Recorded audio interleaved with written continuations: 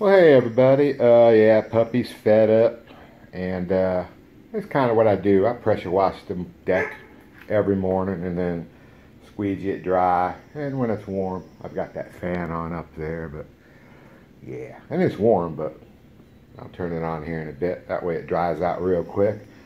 And in the meantime, uh, I want to put a little bit of bleach, and believe me, you don't need a lot of bleach if you can smell bleach, you know, five, six feet up in the air, imagine what that bleach smells like to your puppy that's like an inch or two off the ground. So don't use a lot. Yeah, and uh, me at least, I found it's better to wait until puppies do this, which is generally it's eat, play, sleep.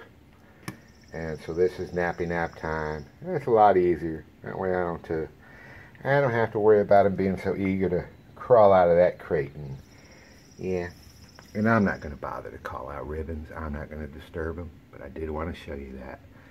Yeah, if you could feel those bellies, yeah, yeah, they had a good breakfast this morning.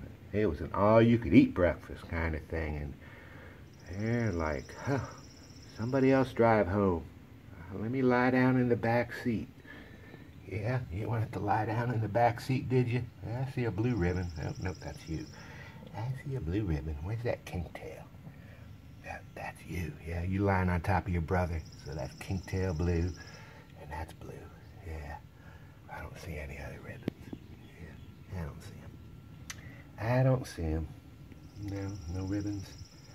All right, well, I'm not going to drag it on. I just want to show that to you. I'm going to get back here to squeeze you in and be long these puppies will be up, and believe me, when they get up, they don't potty some more. Yeah, you gonna potty some more? They'll be out here scraping it up. Talk to you next time.